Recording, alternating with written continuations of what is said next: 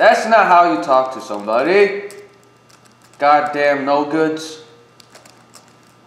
Don't email me anymore. Send.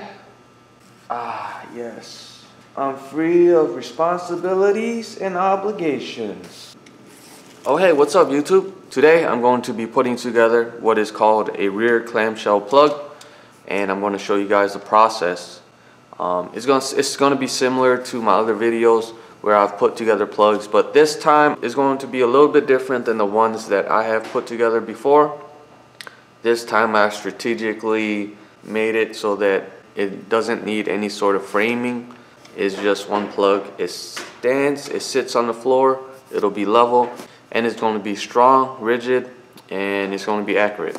I'm also going to take you to the 3D model and show you guys my strategy on how I spliced it so that I can machine it on the 3-axis CNC machine. Yeah, it's a 3-axis.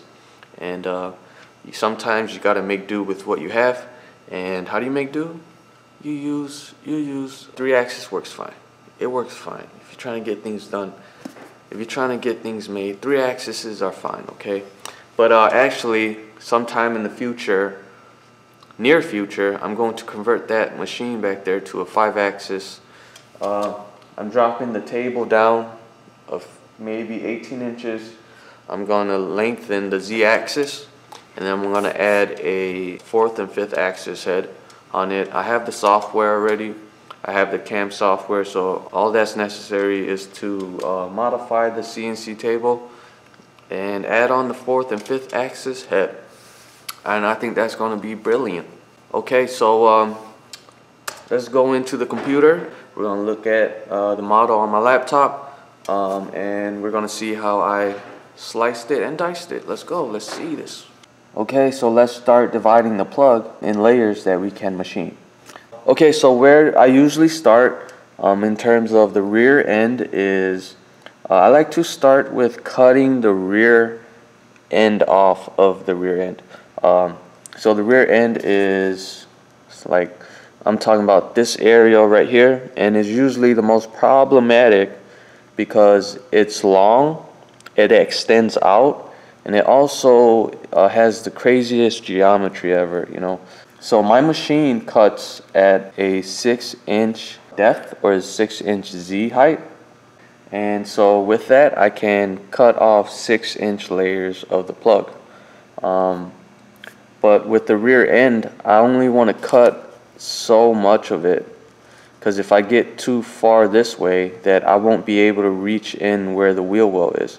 If you see where this wheel well is, I need to machine it from the side okay?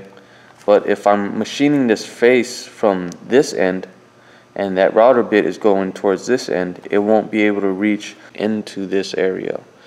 So let's go ahead and take that rear bulk that we split and we can move it just away so we can get a better idea of where, what it is, okay? What we can further do is we can break it down even more and have uh, five inch layers. We're just going to draw a line five inches in to the left, bring it down, and then we're going to use this line to split it. I already have this model split. So we just split that. Okay. And then we could do it again. And we have our rear bulk in three layers. okay now let's take off uh, the top part okay alright so let's start splitting parts again from the top we'll go down 5.9 and that's our first split. Okay. Move that out the way. Okay. And then we do the same thing. I already split these. That's another layer that we're going to split. So that's so far we have one, two, three, four, five parts that we split. These are going to be considered sub-assemblies. This is these two parts are going to be sub-assemblies.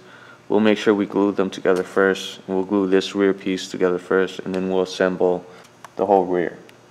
what you're gonna see next is the core of the plug. And the core is where uh, is gonna give uh, the plug some rigidity and accuracy as we glue everything together. All right, let me hide the top assembly. I'm gonna hide the rear assembly. This is what we have left. And if we go from a top view, we can start cutting off layers from the side, right? Top view, if we do a little bit of that, we could go like 5.9 inches again. And uh, that's gonna give us our layer from the outside. Okay, and we're gonna do that on the other side as well. We'll cut that layer off. We're gonna turn them off. And now what we have is our core. And this is what all those parts are going to glue onto. Our core consists of four layers, or four parts I mean. One part, two part, three part, and four part. Let me turn on all of these again so you can see all the parts that go into it.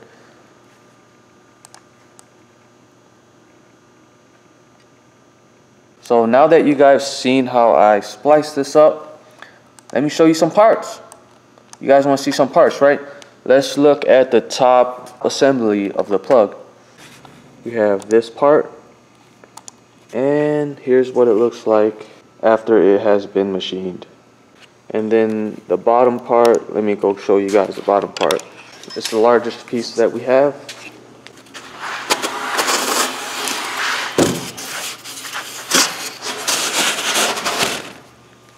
Gonna look like that, right? Does that look like that?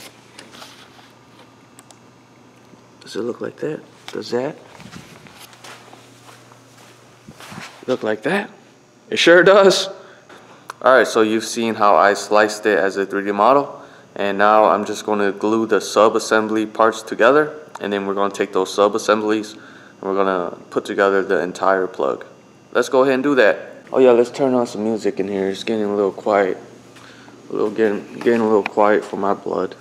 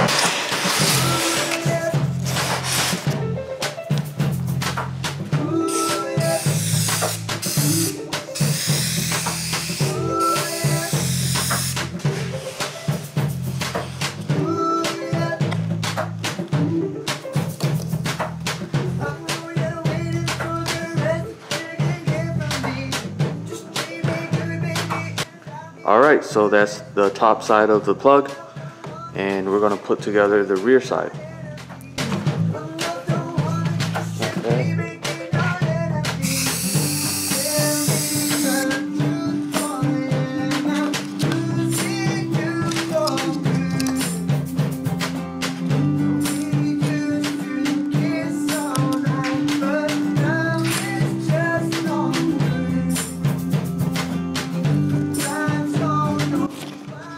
Okay, that is that rear sub-assembly that we saw in the 3D model. The three layers are put together and that's what we have. So we're done with that piece and now we just have to put um, that outer layer of the side where the wheel well is. Gotta glue it to the side of the core. Then we're gonna start just piecing it together. All right, we have our two sides. And now we can start piecing together our plug. Let's do it.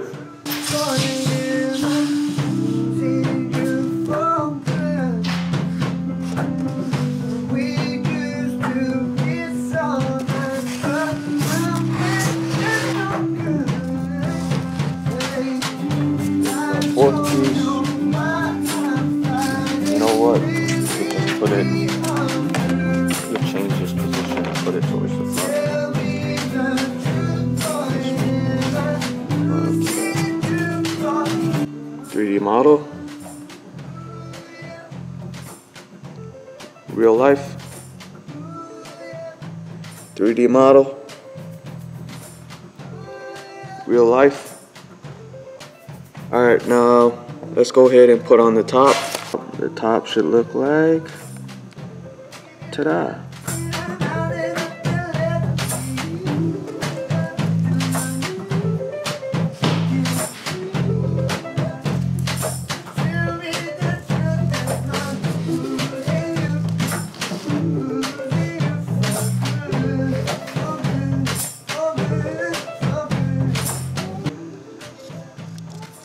Everything checking out? It looks like it. It sure does look like it. All right, the last piece. Just gonna butt it up against the plug and we should be done. And it's going to look like Tess. All right. We'll do this one-handed. It comes for you.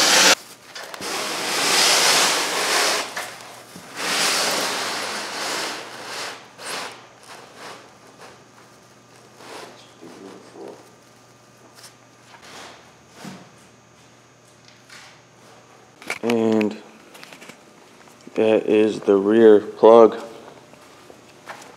Done. We're just we're just mocking it up right now.